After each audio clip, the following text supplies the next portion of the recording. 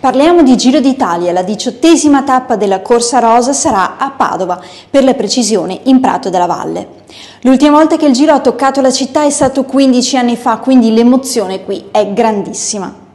La data X è il 23 maggio e Padova si sta già preparando con eventi e incontri a tema, ma anche con lavori come ad esempio la rimozione dello spartitraffico vicino alla Basilica di Santa Giustina, perché proprio lì ci sarà la volata verso l'arrivo.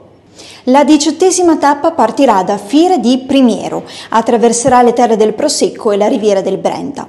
In città i ciclisti entreranno da via Piovese, passeranno sul ponte di Volta Barozzo per poi percorrere via Facciolati, svoltare a sinistra in via Manzoni e poi a destra su via Cavazzana.